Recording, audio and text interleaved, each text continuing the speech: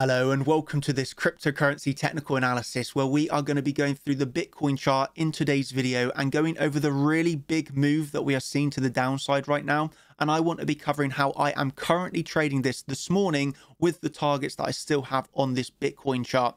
I will title this video Moon Boys will not like this video. There is going to be no Moon Boy stuff. There's going to be no shilling. It's just going to be pure technical analysis. So I really want to help you in this video by giving you my perspective on this chart. So picking up from last night's live stream, that's where we're going to pick up this because we're still trading that same range where we had the high of the range, we had the low of the range. Obviously, we had the magic green box in this, which gave a bounce. We had the point of control, which did give a bounce. But what we have to, the first point that I want to highlight to you all is the difference between scalp trading and swing trading.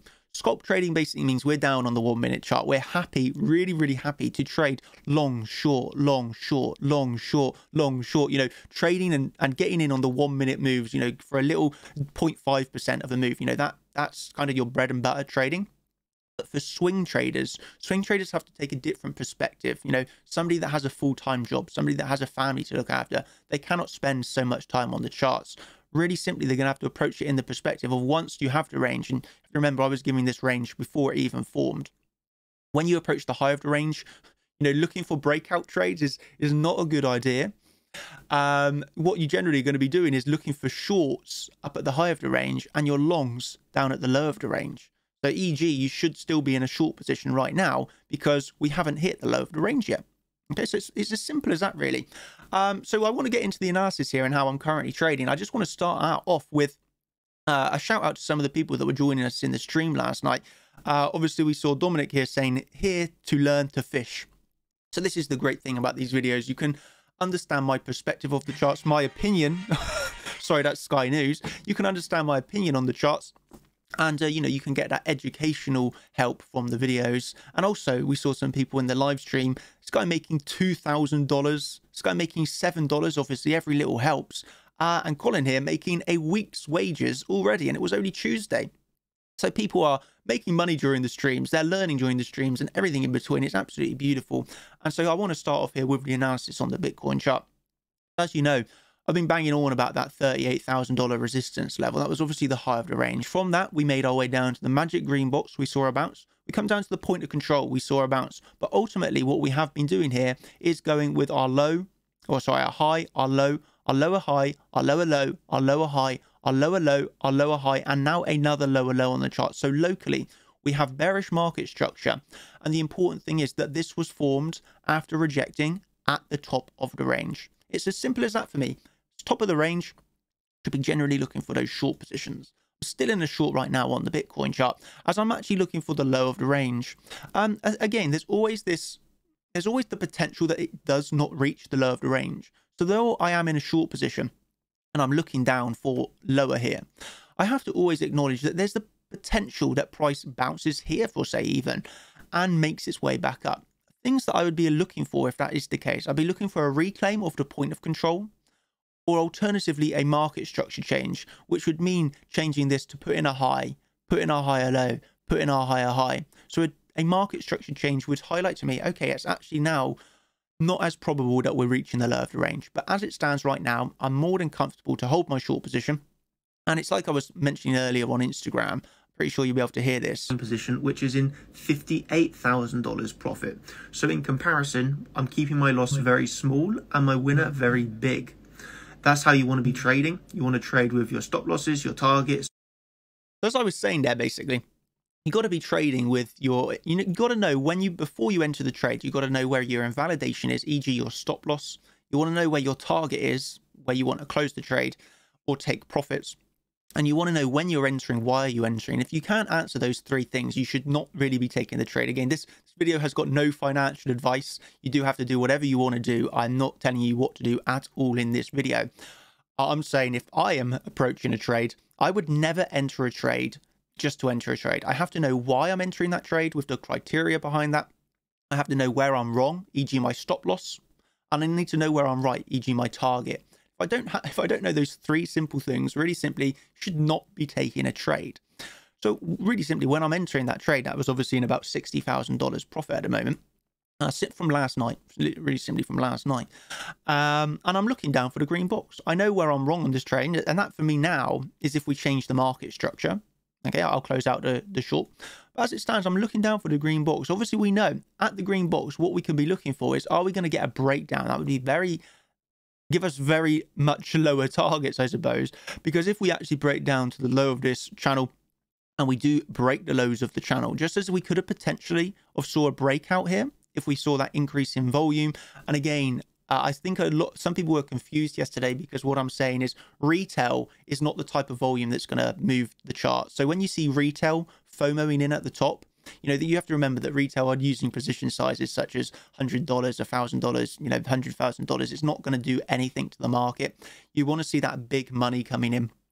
That's the only way the market's going to move. So if you see the big money breaking the highs, and obviously it gives you a long. If we see the big money breaking the short, the lows, obviously it gives you your short positions. Again, how do I look at this? I love to go into the charts, really see how many people are buying, how many people are selling, the volume behind these moves. That's what interests me, and that's how I get my confirmations. But what I'm going to say is again, if we break to the low of this, if we do break to the low lows here, we can be taking our measured move target from the high of the range to the low of the range. And again, we're expanding this to the breakdown and again, that's going to be looking at the targets around $29,000. We do have support prior to that. Uh, obviously, we had that Gartley target. If you're still trading that Gartley target, it's a little bit old now, but we still do have it going on here. That was obviously coming in at around $32,000. So for me, there's two, well, there's three important supports, I suppose, in, in my opinion. The low of the range, which is there coming in at around 38,800. You then have the Gartley target, which is $32,000. If you break that, well, you're looking, you, you got that measured move down, down below the lows. Um, so you got three important targets, in my opinion. Uh, again, you you can approach this in several different ways. There's a few different formulas that you can use to trade, and I'm not ever going to say that there's a use this, use this, use this. You know, what I like to do is give you the education, and then you can kind of make a decision of how do you want to approach this. Would you like to approach this of taking all your profits at the lows? Would you like to approach this of taking partial profits and let it come down lower? or wait for the reaction before you lock in your profits. You know, there's a few different ways that you can approach this, but I hope from yesterday's video, I at least made you aware that we were likely to be coming down, at least to the low of the range. Again, there was supports on the way down. We had the magic green box, which saw a bounce. We saw the point of control, which saw a bounce. But ultimately, we are remain remaining range bound until proven otherwise. We're looking for the longs at the lows, shorts up at the highs. Myself, I'm going to be a bit, little bit cautious, a little bit cautious. I won't close all of my short uh, until we get the market structure change. So that's pretty important in, in my opinion. Uh, but at the end of the day here, we're just trading it very sensibly. You can see we're, we're trading this with no emotion. There's no emotion behind our decision making. It's just pure technical analysis, purely based off of the charts. And then once I see what I want to do, I'll take the trade. So there's, I'm not here overthinking things. I'm not thinking la la la la la. You know, I'm not getting all this emotion in my head. I'm just really simply saying, okay, I have a criteria. I'm going to take the trade. If I win the trade, brilliant. I'll make some money. If I lose the trade, that's just part of trading. I'm not going to win every single trade I take. I'll move on to the next trade because statistically, over a series of trades, I'm going to walk away with more winners than losers, and my losers are going to be much smaller than my winners. So that's obviously how we look to trade. That's how I'm currently trading this. I'm in a short position as it stands. I'll wait, be waiting for the, the reaction off of the low of the range. If we change the market structure, well, guess what? I can actually flip into a long position. I'm okay with that. But as it stands, you know, I'm holding that short to, you know, basically see if we get that market structure change. Um, what I will say here, ladies and gentlemen, is I do have a contenders live stream tonight. So this is for all of the contenders and all of the champions. And this live stream tonight, I feel is going to be really, really nice.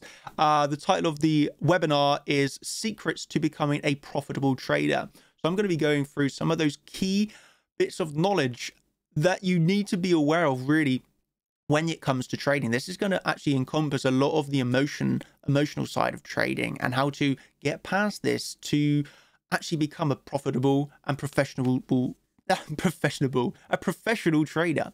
Uh, so that's what i'm going over in tonight's live stream. If you're interested in that you can obviously come across to chartchampions.com that is the webinar tonight starting at 7.30 uk time. But again if you missed the live stream it's all uploaded onto the website. You can watch all of the educational streams back on the website. And obviously if you're interested in the live updates uh, over on the champions group on discord I'm I'm going to be as soon as I end this video over in the Discord, giving my giving updates on my positions, how I will continue to trade this. Um, so you know that's that's extra if you're interested in that. If not, I suppose I'll see you in the next live stream. this is what I was saying. I imagine that this video is going to get a lot of dislikes because when I give a bit more of a bearish view, people don't really like it. I think people just love to hear what they want to hear, and that's up, up, up, up, up. When I give a real analysis, people, people are not really so keen on it. so I say, if you have enjoyed the analysis and you are liking me keeping it real, not just Moonboy stuff, then I do appreciate a like. It really does help. Um, and yeah, we'll continue to monitor this as the day goes on to see if we can change this market structure. And we do have the potential of the low end right now. We'll have to monitor that throughout the day. Again, if you're not in the champions group, what I recommend is keep your eye on the market structure. If we can change that, then the probabilities are increased that we have put in a low this morning. So that's a really key thing that I want to help you with here. The market structure, the of the range, the breakout targets, um, and yeah, hope that you thoroughly enjoy your day. Thank you ever so much, everybody, and I'll catch you in the next video that I make. So cheers, everybody. Thank you and goodbye.